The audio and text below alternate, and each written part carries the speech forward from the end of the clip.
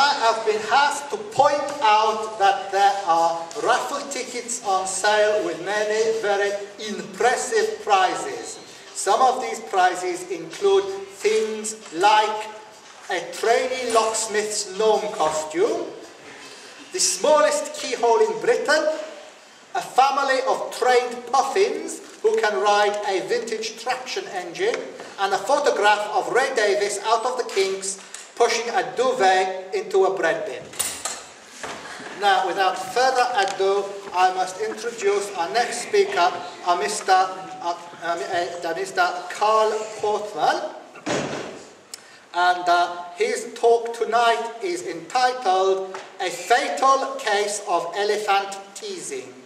Thank you. Carl Portman.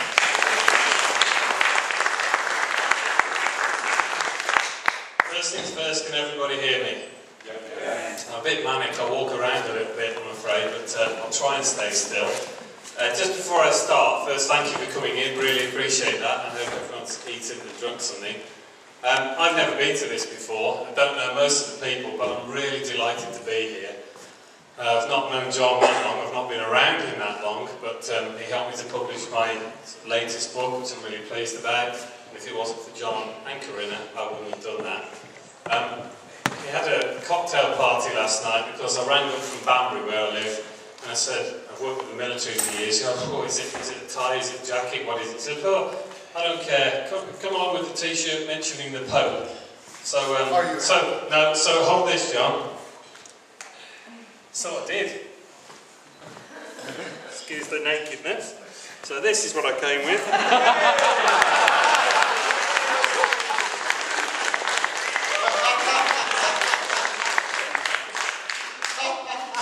So that's the campaign underway.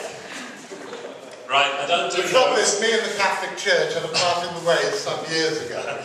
Well, you, you can always be a reason for a bit of clemency for you, Jon. Um, I, I don't do notes. Sometimes I make things up as I go along, but I hope you find this interesting. There's no paranormal.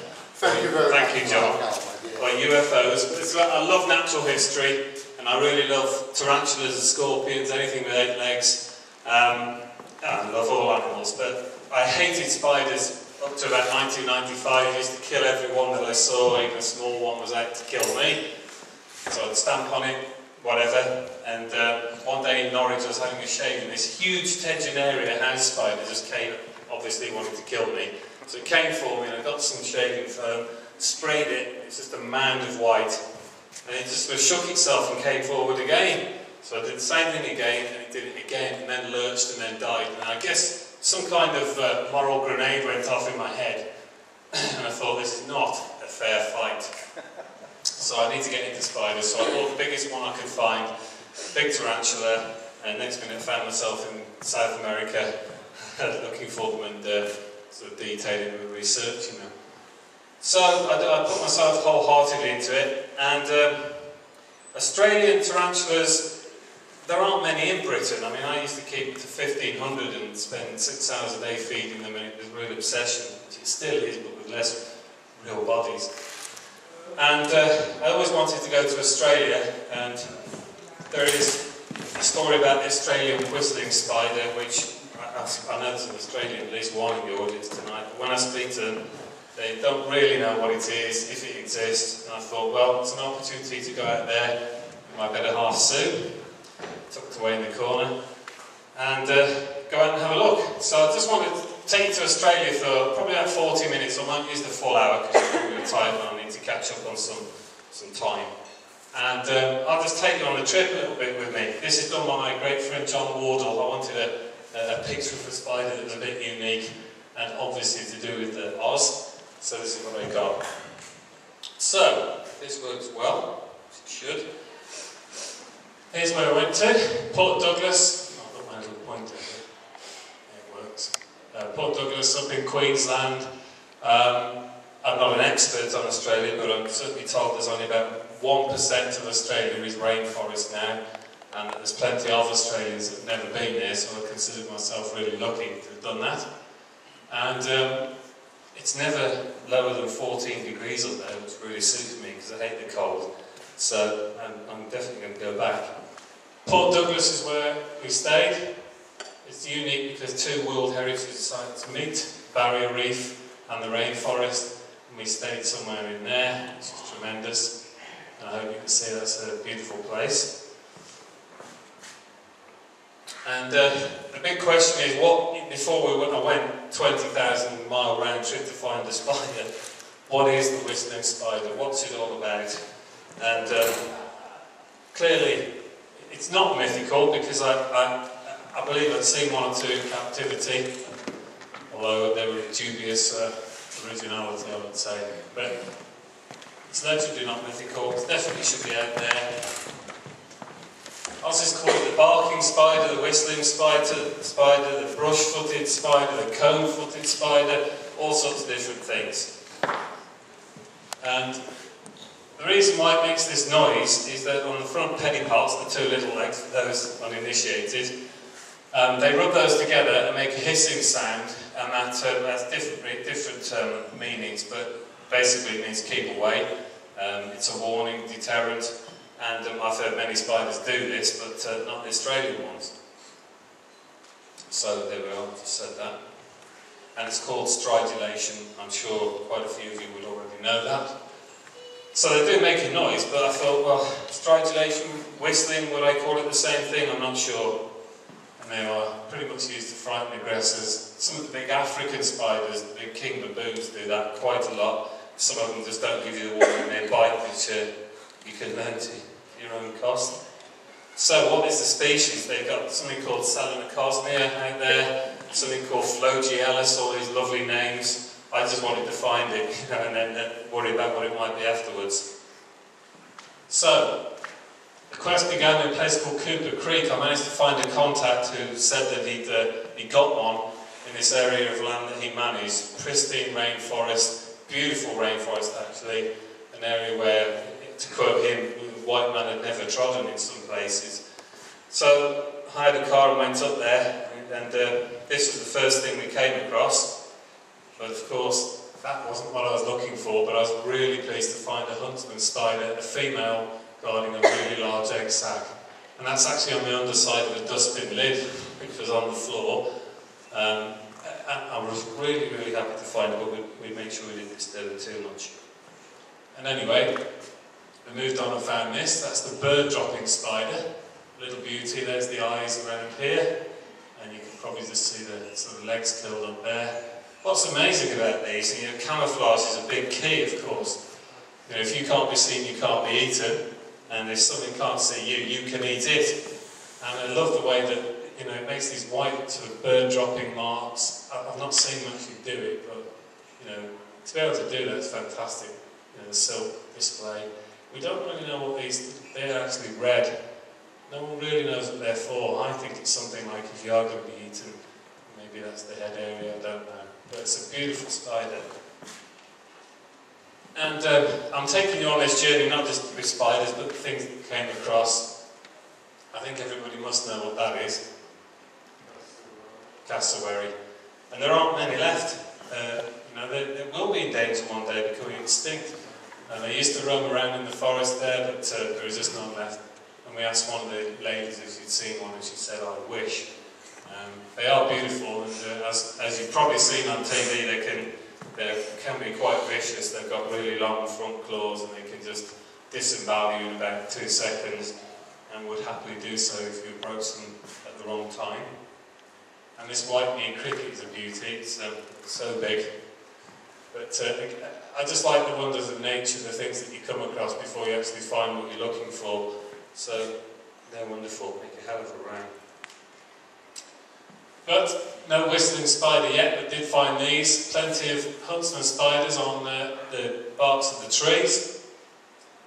Um, these are called, anyone know what these are? Nephila? Yep, smack on, and Nephila. That was, and you can't tell scale, can you, on photos, but that's the biggest I've ever seen. It's huge, beautiful thing on a massive web. And for those that don't know, these webs can catch birds, and bats, no problem at all.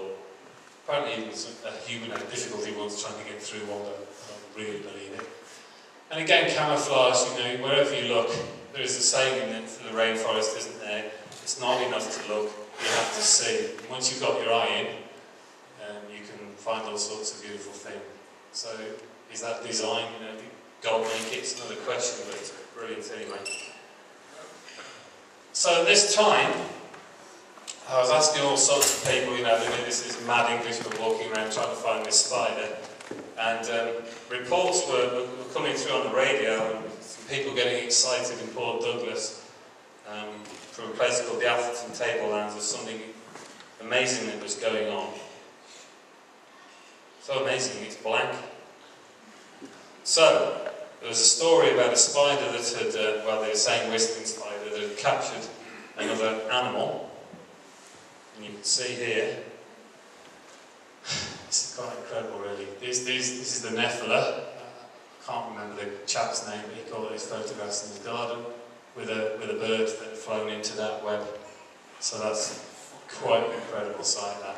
I mean, they're small birds, fair enough, but of course the spider will, will overpower anything that it can. It will eat anything that it can. So they're quite stunning. And people say, we found it, we found your whistling spider, but I had to disappoint them and say, no, it's Nephila. But amazing things, really, to be honest. Yes, that's the bird the mannequin. And again, I hope everyone can see that. Um, this was again at Cooper Creek. Uh, large katydids, it's almost a foot long that thing was, beautiful. It's sort of looking, it's facing downwards, the eyes are here. And it's easy to miss. I was walking past things and the guy that was with me, sort of worked with the aloes for about 15 years and he said, you're just not looking. You haven't got your eye in it. It took a long time, but that's fantastic. So I pretty much looked everywhere. St Andrew's Cross Spider. Don't know what this one was, and I don't think you can see it that well, but it's a, a female with spiderlings that they're all on the roof of this little hole didn't get out. I always, always in two minds about it, but I wanted a photograph, but I didn't put it back. So it's still not what I'm after, but it's fantastic to see this variation of, uh, spiders that I would not normally have had the opportunity to see. And it's another Nephila here, and you, you can't tell the scale, but it seemed to me anyway, it was almost the size of a dinner plate. It was massive. And, and you can't see the web, but that, that spans this whole area. Really huge, so was, you have to look upwards as well as downwards. And the terrain that we're looking in to try and find these things was pretty impenetrable. I mean, for those of you that have done it, I'm sure quite a few have. It's really hard work, it's hot, the ground is really rock hard, and it could take you hours just to dig, you know, a foot into the ground or whatever to find what you want. This was a really nice ride above the, the canopy actually, um, a place called Kuranda, if anyone ever gets the chance, I really recommend it. So it's great to look above and see some of the, flower, the uh, trees flowering. But could they have been here? No one knew what terrain they, they lived in. Um, there certainly wasn't trees, but this was, again, this was this chap's orchard with the rainforest behind it. Lovely place to live. And again, try, trying to get through all that was quite difficult, but fantastic to find all the different uh, plants and animals there. But not far away, was this area, and this is the bit I'm interested in there. Anyone, any idea what's going on there? Sorry, I couldn't hear.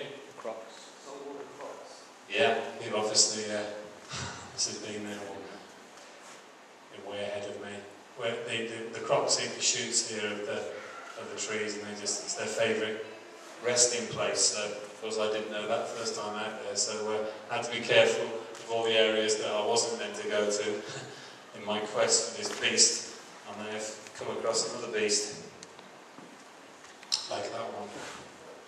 And uh, I did take that photo. There's a little bit of a cheat on it. We went on a, a, a trip on a crocodile, crocodile well, sanctuary, for want of a better word. And they hold sort of half a chicken out on a long stick. they just come along. But they, they can. I, I didn't know. But they, you know, when you're in a a canoe or a small boat, they can easily just jump straight over it. They can, they can just crash out of the water this high, this high, straight over it, no problem at all. So I'm going in a canoe there. So finding all these good things along the way, in the end, Sue and I settled for the, uh, the little one, the safest we could do. But um, it, was, it was great to, to find these. Okay, now, there is the spider. Um, I don't, I'm sorry if you can't see that too well, but this is an area of, of ground that was under that lid. Thank you for that. It was under that bin lid, and this was the spider. So it's just, to most people, it's just a, a plain brown spider. But you know, talking to Matt last night, you know, you could look at a fish and go, well, it's just a fish, it's a, it's a small brown fish, but it means something to people. And that meant a lot to me to actually see one in the wild. It was a small one, a couple of inches, and I wanted to find a really large one, so I was, I was really pleased. But I have to admit, it was tinged with disappointment. So I uh, thanked the chap and uh, said I would keep looking. And this is just an interesting point. It seems to me, and I found it in, uh, in Ecuador as well, that wherever there are spiders, there are centipedes around. I don't know the answer to that. You know, this is perhaps the, a great weekend for someone to have a hypothesis on that, but there always seems to be a centipede around there. They must have maybe some kind of symbiotic relationship, I don't know. But that, that was quite a big one. Quite, quite nasty want to be. Centipedes will eat spiders. They will, that's right, but these, these they will inspire spider centipedes. It's a good point. Those big scolopendras certainly will. These were just side by side. It's, it's strange, very weird. Um, this is a guy called Stuart Douglas. I don't know if anyone's ever heard of him. Oh, yeah. Oh, you have? I met him, it's the only time I met him, but he definitely had a death wish. He, um, he, he was quite extreme, but he, he helped me. He said I could, uh, you know, come and have a look around his Venom Zoo and uh, his, his inland taipan there, which looks like it's just eaten. And he was keen to hold all the scorpions and the spiders. And so, yeah, I'll mate, just hold all these, but I do have a bit of a golden rule, which is try not to be an idiot. And uh, I don't really handle them unless I have to. Um, so he, he was helpful to me, but I've since found out, you know, a couple of TV programmes, he's quite a controversial figure, he's Stuart. But he had some nice creatures like that one, considering it be a weird weekend. It's a, it's a bit weird, but leaf tail gecko, really, really sought after apparently for people stuffing them in tubes and trying to get them out and other horrific things. But it is an absolute beauty.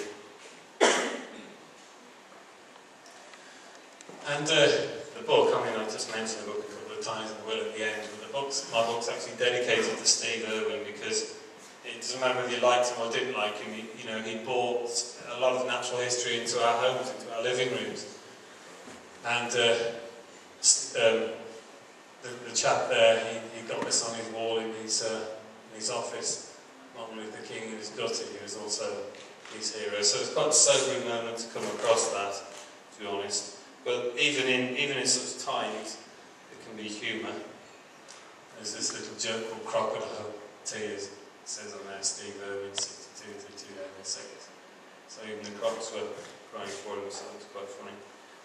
And again, there, there are, well, he says it's Phlogiellus and not Cosmia, but some nice sized spiders, but again, I'm not going to cheat and say, oh yeah, that was, that was, that was found in the wild. It wasn't a part of Stuart's collection, so I was really happy.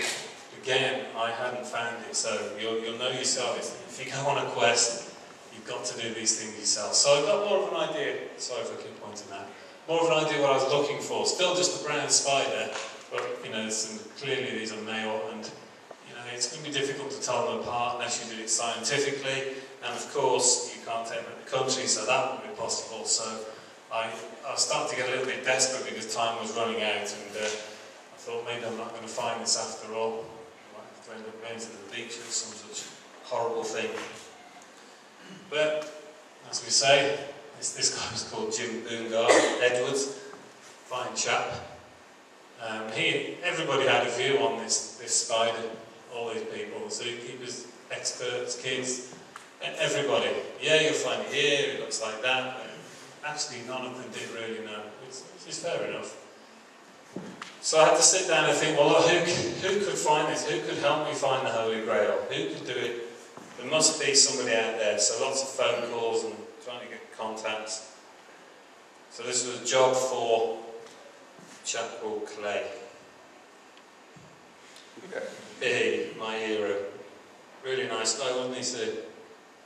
Embarrassed the way talking to him. So, local expert, I don't like the term expert, it's such a thing really, all there, but he said he knew where to find them, definitely knew where to find them in the wild, and uh, I believed him, seemed a believable guy, and that was music to my ears.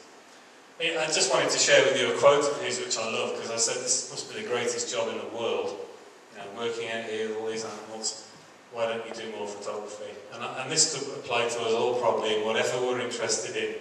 If you can't see, it says, when I have the incentive, I never have the time.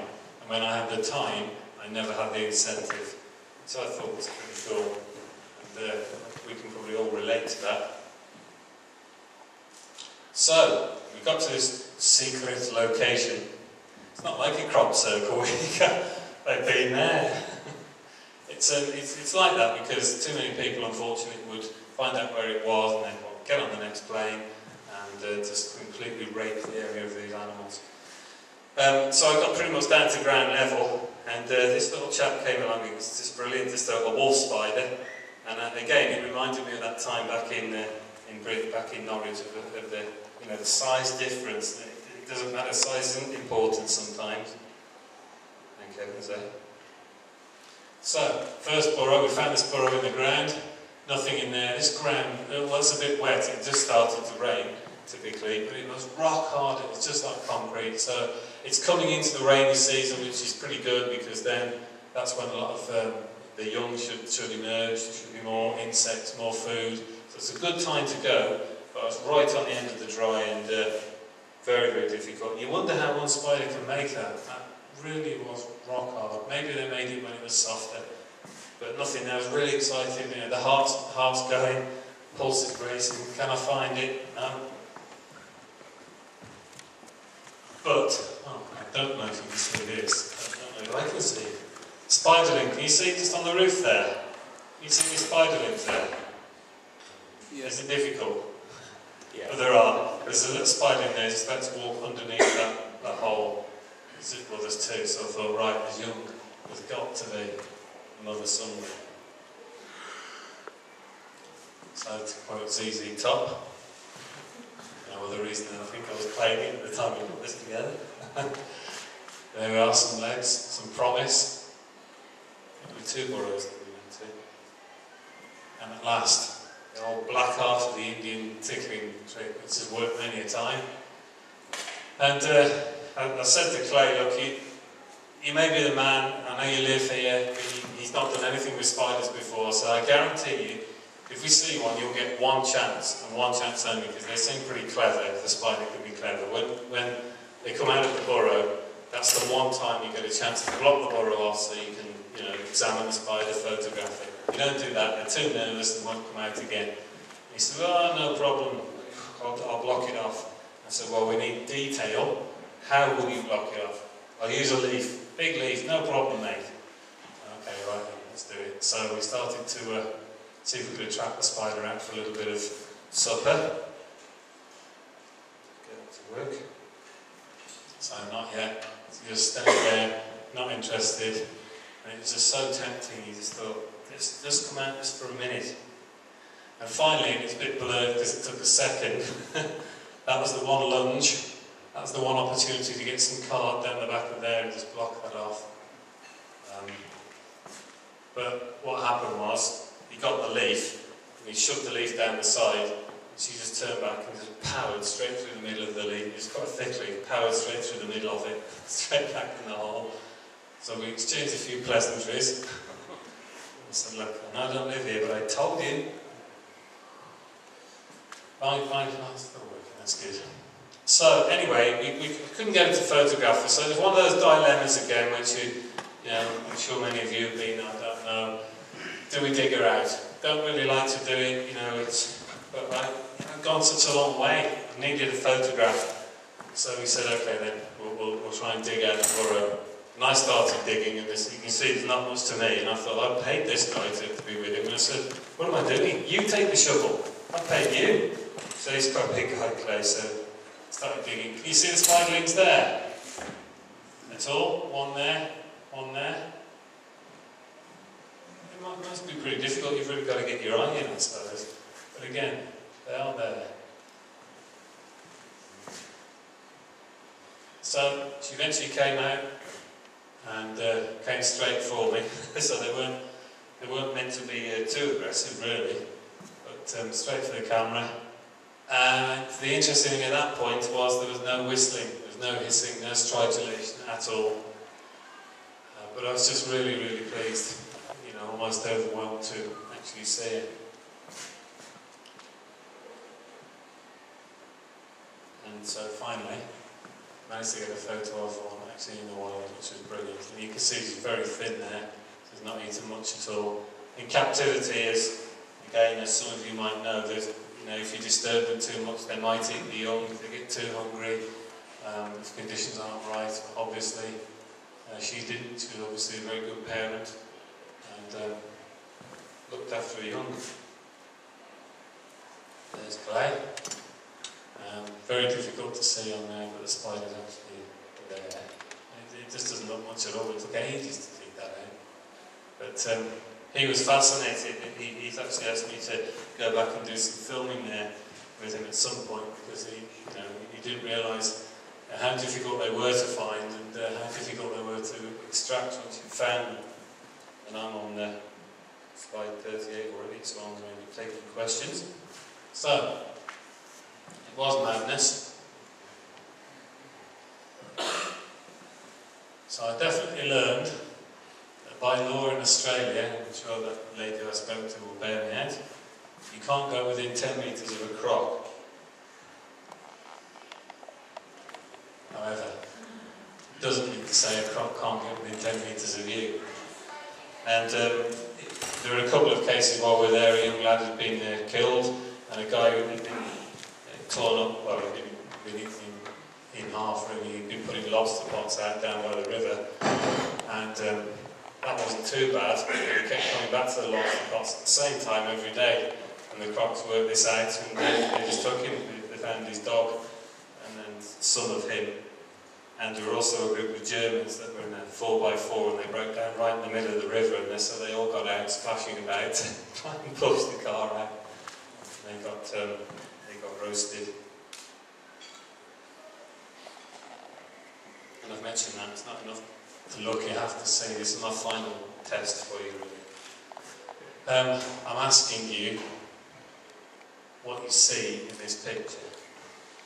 So just have a look. I know it's difficult probably at the back, it's probably not projected that well. But just have a look for a second. I mean, nobody can be right or wrong. It's whatever you see. Ah, thank you for that. Just, just have a look just for a second. I think it's a wonder of natural history that most of the time, you know, you walk past things and you, you miss all the things that you wanted. But the guy I was with was brilliant to find these. So any ideas? Somebody said a monkey and I we were taking mind expanding drug stage. so I took something till I could see what that is. Any ideas? Shout something out. Spider. Spider, who said that? You- You've got the pointer, or yours yours is better than mine, yours is bigger than mine. I'm disappointed again. depends if I can get it out of my pocket. Just see if you can point to where you think the spider is. Oh. Hey, nice. I like it. Look at that, he's a big head. Sorry, I've got to take that off. Is that the body there, and there's, le- there's a leg and a leg, and that's a leg, and that's a leg, and there's a leg and a leg. Can anyone else see that? Yeah. Did most, did anyone, did, did most of you see that? Yeah. No, some did, some didn't. But he's smack on, brilliant.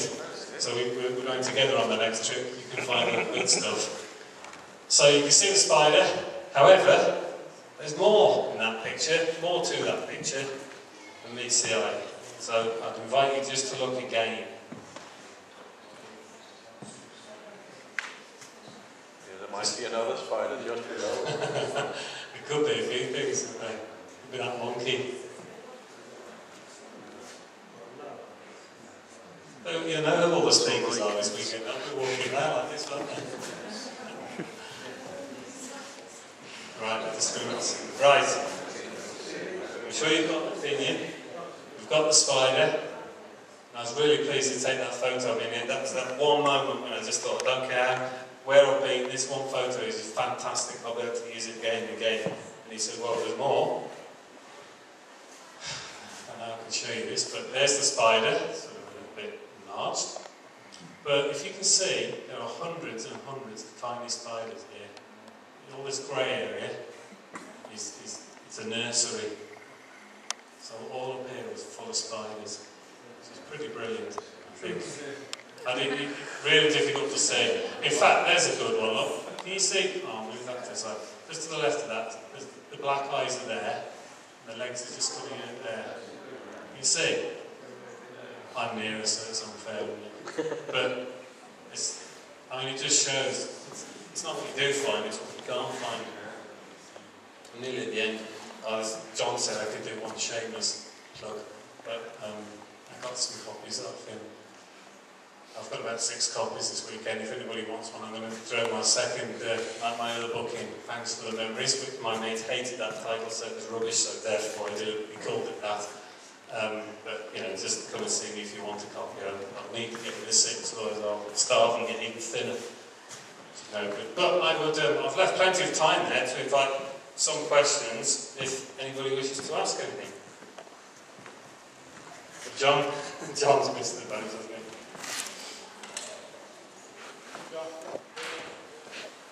You see his face? Are these spiders protected in any way?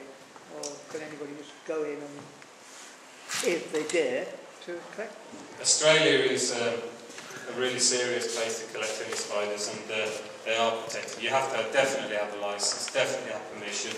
I mean, even if you're seen in some areas, you get reported and um, I made sure that I contacted the various departments out there to say I'm not taking anything, or I am taking something, photographs, but you can't use, you can't take spiders out. In the trade, or in the hobby, tarantulas, you know, we've got spiders from all over the world, but there's a dearth of anything from Australia. They've not been studied that much, so that's why it's so great to go and see them. So, I mean, you, uh, you, ha- you actually made me take the word collecting out of your talk title to sort of about eight months ago, didn't you? yeah, people get really precious about it, and I can understand that. Oh yeah, I understand. Um, yeah, people, I won't say from which countries, but you know, people, I know people that go out somewhere with a big suitcase and just, they collect for a month. So they cram them, the first day they collect, they put spiders in little pots, and they keep them there until the last day they, they collect. So they're there for a month. So by the time they come back, half of them are dead. And uh, I just don't agree with it. I do agree with taking a few specimens to bring into the hobby, you know, it's important, bloodlines, not just going out there and just taking whole, whole colonies. I tell you what, I'm always really self-indulgent uh, the Weird Weekend because through the year I've got I've got a fantastic job. I manage to wander around the country and sometimes wander around the world meeting interesting people. And the reason I like the Weird Weekend, probably most of all, is that during the year I meet all these interesting people. I then get them to come down here and buy me drinks. I mean, it doesn't get any better than this. Now, I read a book that this chap wrote. I bought it. I bought a book um, because it had an absolutely dreadful pun on the front cover, and anybody who has bad puns is good by me. So I bought a book called Fangs for the Memory, which was about a trip to South America and looking, Central America, Central America, looking for tarantulas. And then I met this, I was wandering around with a copy of it in my hand, and this funny little fellow came out from behind a pile of books and said, Who are you? You got my book? And I said, and I said, golly, uh, yeah, you're Carl Portman. We got talking. And then we got talking a bit more. I said, well, look, I want to publish one of your books. It's great being a publisher. You can actually go around, you can actually make decisions to do stuff just because you want to do it. I had no idea if anyone would buy it. I wanted to publish it because I wanted to see what happened next. His first book made me laugh. And so I thought, hey, I want to find out what, what happens next. And he said, well, what about when we're going to be going to Australia soon? What about doing a book about that? And it was bloody fantastic. It's probably that and that and Andy's uh, book, Strangely Strange, the two books that I've enjoyed reading. And I know I've got about half a dozen of my authors in the audience here, but the ones that I actually enjoyed having by my bed as bedside reading. Mr. Roberts. Mr. Roberts, this is my part, and I don't take heckling from hippies. In fact, I don't think we allow hippies in Woolsery. Uh, oh God, I need a haircut. Okay. Jon, there was one question in the back there, which I'd love I to was take. ask you, um, how do you feel about the possibility of undershoulder giant spiders in Indonesia and Africa? really excited, but we come back to money for doing things. But to, to, I mean, lots of people want to go out and find and discover a new spider and have it named after them. I'm not precious about that, but the, the knowledge that there, there's got to be, it's like life out there somewhere else. There's, there are spiders out there that have not been found. We know that this spider called Theraphosa blondi, the Goliath, the dinner plate size is the biggest known, but I mean, I've known other species that grow equally large, and there's got to be other things. They're untouched in, in I want to go to Papua New Guinea, where there's still, there's still uh, cannibals in one small area there, at least. And I, I really want to find a, a big spider called Selenocosmia honesta, which is the fac fac ochre, and I, I have one. Sorry? Could you say again? what- Yes. What is that one? It's called the fac fac ochre, and it's well, the, the, the uh, scientific name is Selenocosmia honesta. It's chocolate brown. I love chocolate spiders, and it's it's a beautiful animal. And I had I had one once. My friend had one, and then he had a problem in his spider room, and everything got cooked, and I was really really upset. But they're out there, and you know people go on holidays and trips, and they go, oh, look at this spider. I'm thinking, well, what's that? Chagos Islands, Jon, for example, Chagos Archipelago. Yeah, this is one that uh, we have mildly in the pipeline. Has anyone ever heard of the Chagos Archipelago? Yeah, Don't you want to go there? yeah. I'm a very patriotic Englishman, and I'm absolutely appalled at what my country did to the people of the Chagos Archipelago because they decided that these islands, which had been habited for over a thousand years, were a bit too near to an island. What the hell's one called? The big one, where they made the naval base. I, I, I can't remember. I can remember that. Next to an island called Diego. Diego Garcia. Diego Diego Garcia. That they wanted to use as an American naval base. So we kicked all the people out. We threw all the people out over a period of about eight years, and there's been nobody living there for nearly 40 years, just over 40 years now. They kicked all the people out, they got rid of them, they got rid of their pets, they levelled their houses, and there's been no one there for 40 years. And there's a possibility that Carl, and I've told him, while I can still walk, I want to do this one. This is one that, God, the idea of going to an uninhabited desert isles in the middle of the Indian Ocean. Gosh, I'm being as long as I can still walk, I'm going to do it. What's that? I'm being stuck there. Oh, I don't care. Especially if it's in the winter. I'm very fond of Walsall, but not in the winter. The idea is being stuck on a deserted island. And that's where you could find something, you know. Well, yeah, there'll be new species of spiders. There might even be new species of vertebrates, small, small reptiles and amphibians. It's going to be an amazing adventure. That's the biggest thing we've got in the pipeline at the moment. Guys, as always, Carl's been very, very good. We've actually come back on time. I do apologise, Carl, that you had to, at the end of your talk, put your head around the door and call me to come back in. But, ladies and gentlemen, my dear friend and a bloody good author, Carl Portman.